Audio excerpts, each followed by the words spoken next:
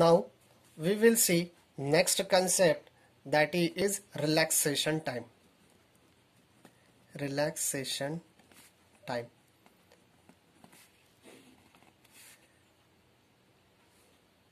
Point number first. We know that that is inside conductor inside conductor E bar will be equals to 0. Electric field intensity inside the conductor is 0.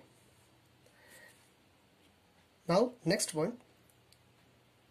Now it is being very interesting to know that inside a conductor, suppose this is a conductor, it consists of many molecules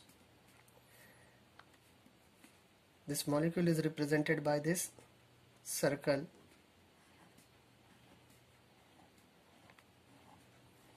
And inside this circle this dot represents the atom.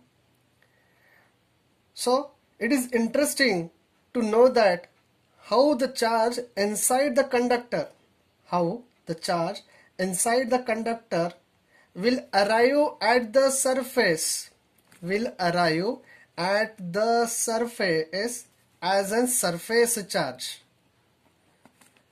So this is known as your valence electron. So this valence electron will appears on the surface as a surface charge.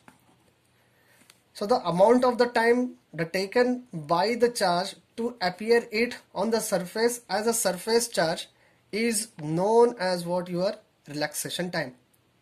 I am repeating over here the valence electron present in the outermost shell of the molecule.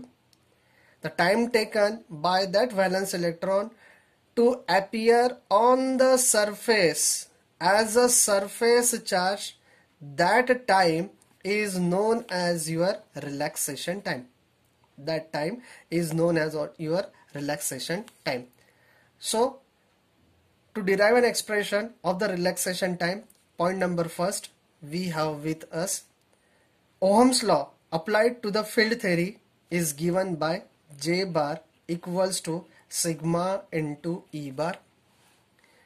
Point number next, as per current continuity equation, we have with us del bar dot J bar equals to minus del by del T into rho V now substituting the Ohm's law equation in current continuity equation that is this equation number 1 this equation number 2 so we can say that put equation 2 in sorry so put equation 1 in equation 2 we have with us del bar dot sigma into E bar equal to minus del by del t into rho v now we know that electric flux density d bar equals to epsilon into E bar.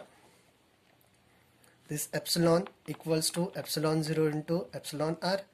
So d bar electric flux density equals to epsilon into E bar. So therefore E bar equals to d bar divided by epsilon and therefore we can say that current continuity equation that is del bar dot sigma into d bar divided by epsilon equals to minus del by del t into rho v. Now this sigma and epsilon are the constant so we can take it out from that bracket is given by sigma into epsilon equation will be del bar dot d bar equals to minus del by del t into rho v. Now as per the Gauss law in point form we know that del bar dot d bar equals to rho v. And therefore we can say that sigma upon epsilon into rho v equals to minus del by del t into rho v I'm rewriting this equation as del by del t into rho v equals to minus sigma upon epsilon into rho v. Now del of rho v divided by rho v equals to minus sigma into epsilon into del of t. Now integrating both side, integrating both side, we have with us integral of del rho by rho. It is equals to log of rho v equals to minus sigma e will be out of the integral sign. Integral of del of t will be equals to t plus c please note down here we are not using any limits we are using indefinite integrals and therefore answer of the indefinite integrals is equals to some constant present in the final answer. So therefore final answer consists of log of rho v equals to minus sigma upon epsilon into t plus c. Next step we have to find out the value of this c. To find out the value of the C, we are substituting t equals to 0 in above equation and therefore we have with us if t equals to 0 rho v will change to rho v0 so therefore we have with us log of rho v0 equal to 0 plus c and therefore c equals to log of rho v0 so we get the value of that constant which is given by log of rho v0. Now substituting this value in this main equation we have with us log of rho v equal to minus sigma upon epsilon plus log of rho v0. So log of rho v minus log of rho v0 equal to minus sigma upon epsilon into t. So log of rho v by rho v0 equals to minus sigma upon epsilon into t.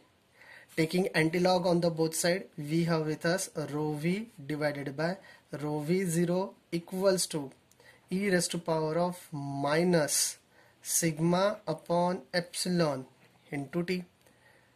Now let sigma upon epsilon equals to 1 upon t. So therefore we have with us rho v equals to rho v0 to e raised to power of minus t by capital T. So this is the final equation for the relaxation time. Therefore we can say that t equals to epsilon by sigma is known as your relaxation time constant is known as your relaxation time constant. So the value of this relaxation time is low for good conductors. For good conductors. The relaxation time value will be very large for the insulators. For the insulators like quartz so therefore we can define the relaxation time. We can define the relaxation time as time it takes. Time it takes. Time it takes a charge. Takes a charge placed in the interior of a material to drop to 1 upon E percentage of initial value.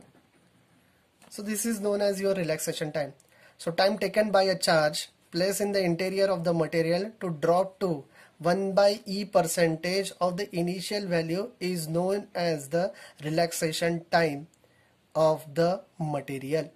So its value is low for the good conductors, value is large for the insulators or poor conducting materials, for example quartz, and the value of the relaxation time is given by T equals to sigma divided by epsilon. So that's the for the relaxation time. Thank you.